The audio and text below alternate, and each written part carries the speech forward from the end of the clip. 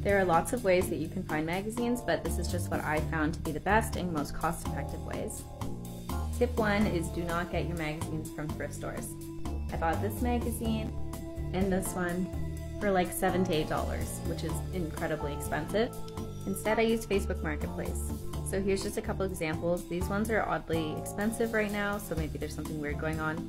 But in the past, I've been able to find ones for under a dollar or 50 cents each, um, in giant lots especially.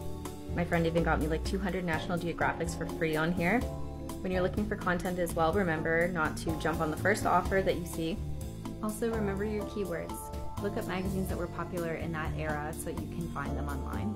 If you're just starting out though, I would just buy something like this. Honestly, it's the extraordinary things to cut out and collage. It's chocked full of anything that you can imagine. Also, do not be shy of estate sales. Sometimes you'll find really great bulk at the end of the day when they're trying to get rid of